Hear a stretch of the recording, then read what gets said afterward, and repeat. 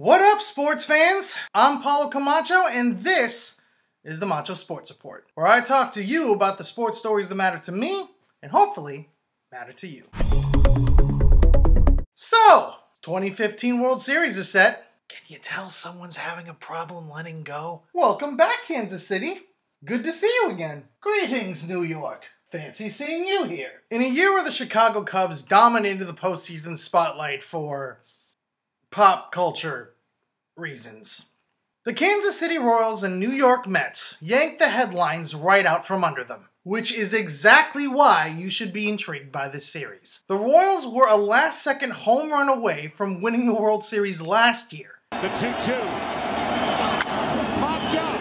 Giants win! And they had a target on their backs in the American League as one of the favorites to win the AL. Ultimately, it didn't matter. They still had their stellar bullpen, a much improved on paper pitching staff, including additions Johnny Cueto and Edinson Volquez, and much of the same core of hitters that made the Fall Classic in 2014. Now, having dispatched a formidable Blue Jays team in six games, the Royals have some unfinished business to settle with the baseball gods. The Mets, on the other hand, were a dark horse for most of the season. They were treading water for much of the regular season finding themselves with a paltry 53 and 50 record at the end of July. Then they traded for Tigers outfielder Yoenis Cespedes, which apparently galvanized the team to the tune of a 37 and 22 record the rest of the way, and an unlikely NL East title. They remind me of the 2010 San Francisco Giants, with an unexpected offensive attack and stellar starting rotation.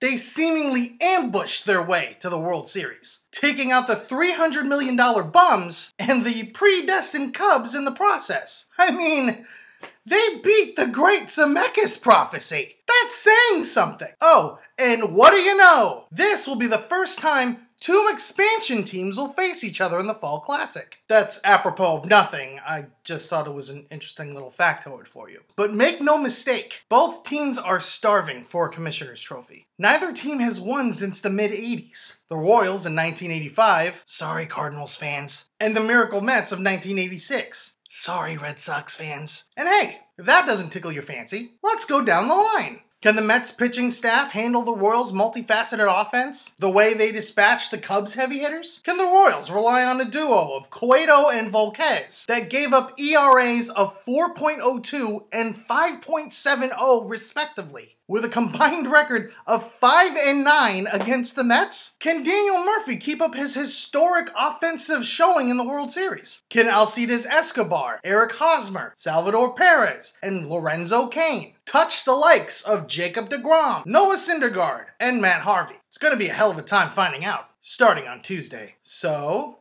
what do you think? How do you see this 2015 World Series playing out? And most importantly, who you got? Leave your responses in the comment section below. I'm Paul Camacho, and this has been the Macho Sports Report. Peace out, sports fans!